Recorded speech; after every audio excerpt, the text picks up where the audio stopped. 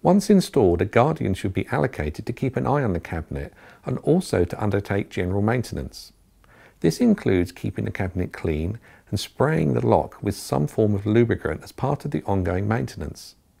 This should be done once every four weeks, unless the cabinet is situated near the coast, in which case the lock should be sprayed every two weeks.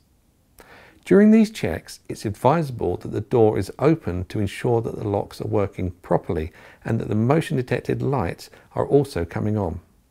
It's also recommended to clean the outside of the cabinet once a month with a high quality car wax.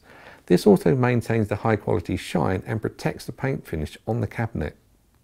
Finally, it's very important that you do not attempt to modify the cabinet in any way as this will void the warranty.